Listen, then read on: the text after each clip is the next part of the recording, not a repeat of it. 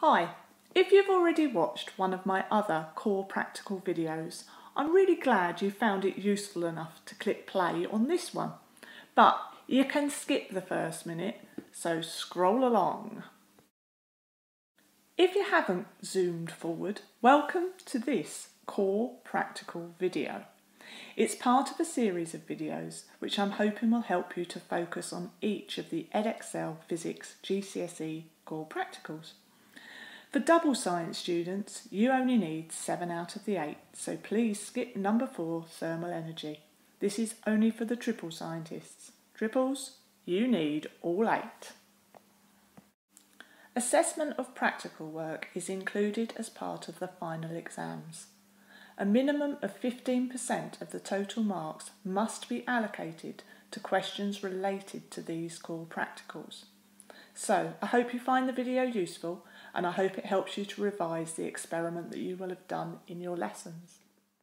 In the third core practical, we investigate refraction in rectangular glass blocks in terms of the interaction of the electromagnetic waves with matter.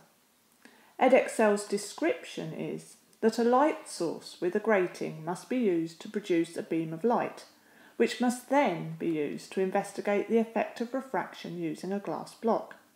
An appreciation of the interaction of the light ray with the glass block and the effect of changing the medium on the light ray, moving towards and away from the normal, must be included.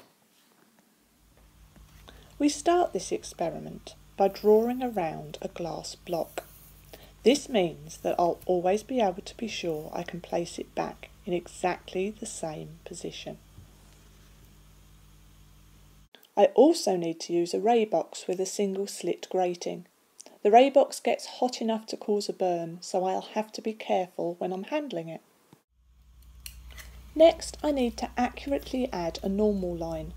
This needs to be added at 90 degrees to the surface of the glass block. You'll see I'm very carefully marking that out to make sure I get it exactly right. Now to prepare for my results, I am going to pre-draw three angles of incidence. And I'm going to draw those at 20 degrees, 40 degrees and 60 degrees to this normal line. The angle of incidence is the angle that's made between the incident ray of light and the normal line. So 20 degrees, 40 degrees and 60 degrees will be the three angles of incidence that I'll use for my results.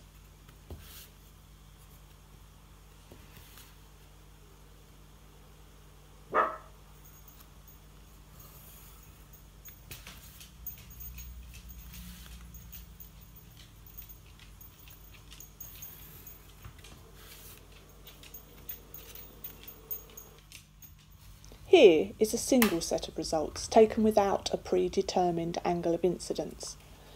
Notice the light is refracted, but it's also reflected, and this happens at that first surface of the glass block.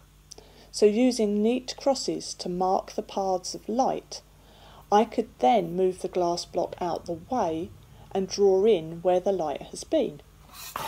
Notice, I, the angle of incidence, should equal the angle of reflection at that first surface. So I'm going to draw that in to have a look at my accuracy. And you'll see when I measure them that my results are about 2 degrees out. By using a sharp pencil, which I tried to do, but a narrower beam of light could make it more accurate. Now you can see I'm drawing in the rays of light using the little crosses that I made to mark where the paths were. And then I can join up to mark where the light was moving through the glass block.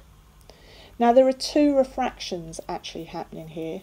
The first from air to glass and the second from glass to air. So you saw me draw in that second normal line for that second refraction. There's the first angle of incidence and angle of refraction, and the second angle of incidence and angle of refraction. And there's that angle of reflection added in. So with my measurements done, you can see I've got an error of plus or minus 2 degrees from the angle of incidence compared with the angle of reflection at the first surface. Law of reflection is that the angle of incidence and the angle of reflection should be the same and minus 2 degrees out. You can see the angle of incidence of the light that's moving through the air towards the glass at 57 degrees. When it hits the glass block, you can see that the light has been refracted at the boundary. It's changed direction as it slowed down, and its direction has changed towards the normal line, reducing the angle to 33 degrees. That's the angle of refraction from the boundary of air to glass. But there are two refractions here. The first was air to glass, and at the top we see the refraction from glass to air. This second refraction here, the angle of incidence, is 33 degrees. And as the light speeds up from the glass back out into the air, the angle increases to 59 degrees. The angle of refraction is 59 degrees, which is away from the normal line. One last thing to notice is how the original angle of incidence and the final angle of refraction those two rays of light are parallel to one another. So let's first notice that if the angle of incidence is at zero degrees, i.e. along the normal line, there's no change of direction of the light, only a change of speed. Now using my preset angles of incidence, you can see me marking neatly with little crosses where those angles of refraction are. So there's 20 degrees, and I repeat for 40 degrees.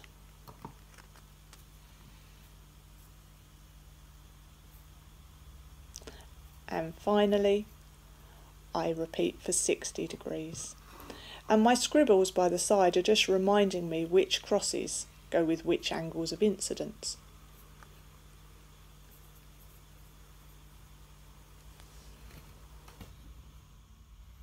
Then I can remove the glass block and I can use the ruler or the edge of my protractor to draw in each path of light accurately.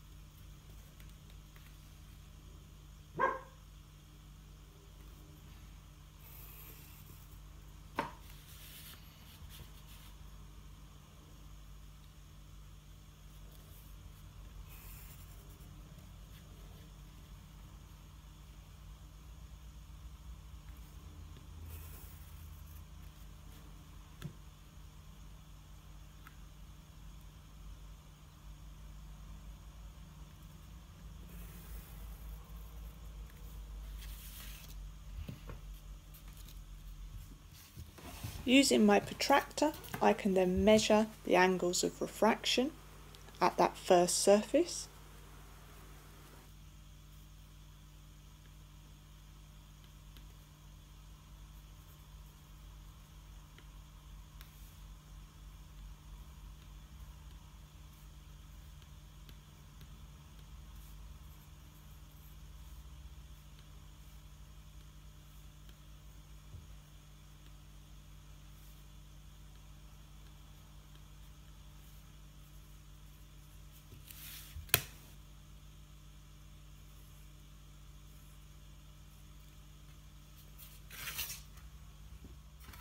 and then the second refraction, the one that goes from the glass to the air. But before I can measure any angles, I need to draw in the normal line each time because it's the normal line that I'm measuring to.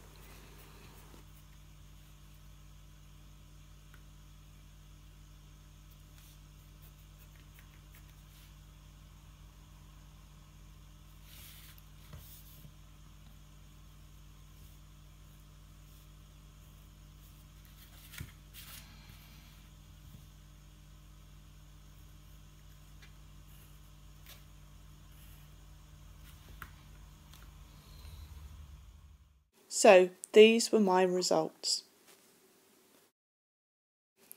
So we can see that for air to glass, the angle of refraction is always less than the angle of incidence because the light is bending towards the normal.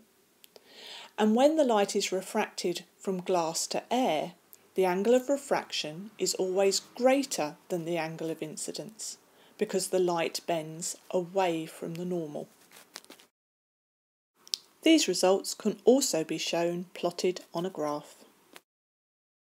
Purely as an extension, I can use Snell's law to get an idea of how accurate my results were, like I used the law of reflection earlier. But you don't need to panic, you don't need to know Snell's law. The law of reflection suggested I had an error of plus or minus 2 degrees from that one result. Using Snell's law and the accepted values for the refractive index of air and the refractive index of glass, I can see I am close to the accepted values, and so I'd consider the data from my experiment with three results to be reliable. So that's the third core practical reviewed because you know that. Regular review gets a better grade for you. Don't Forget to Like, so that I can keep making the videos, comment, especially to request other revision topics. subscribe. So you can get notifications of when my next video gets uploaded.